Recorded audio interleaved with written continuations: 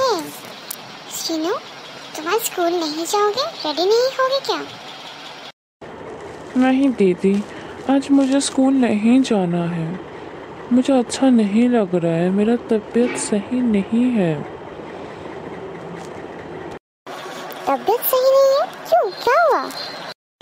तुम सही तो हो ना? बुखार उखार तो नहीं है ना तुम्हें?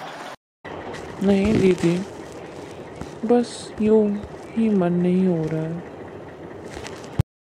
यूँ ही मन नहीं हो रहा है? रुको। मैं अभी दादाजी को बुलाती हूँ। दादाजी दादाजी।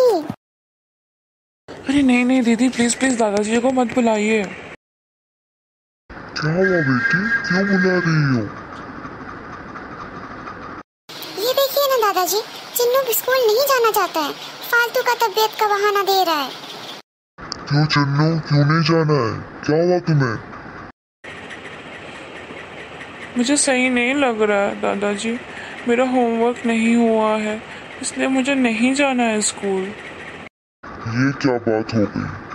होमवर्क नहीं हुआ तो क्या स्कूल नहीं जाओगे? ये तो सही बात नहीं है ना चिन्नू।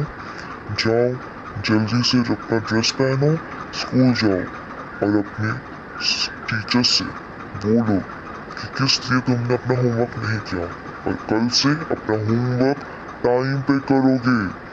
ऐसा बिल्कुल नहीं चलेगा। अगली बार से ऐसा हुआ तो मैं सीधा तुम्हारी मम्मी को कॉल लगा दूँगी। ओके दादाजी।